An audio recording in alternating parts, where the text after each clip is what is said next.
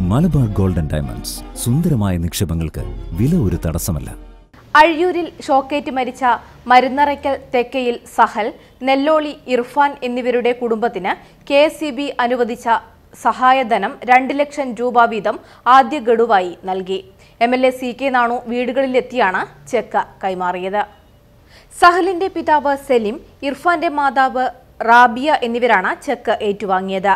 Panchayat president V P Jayan vice president Sheeba Anil സ്ഥിരം സമിതി അധ്യക്ഷകളായ ഉഷ ചാത്തൻകണ്ടി ജാസ്മിന കല്ലേരി മെമ്പർമാരായ E T Ayoob Sahir Punathil P P Sreedharan Sukumaran Kallaroth panchayat secretary T Shahul Hameed K C B assistant engineer A Vinod block panchayat member Pramod Nisha Parambath വിവിധ രാഷ്ട്രീയ party പ്രതിനിധികൾ എന്നിവർ പങ്കെടുത്തു.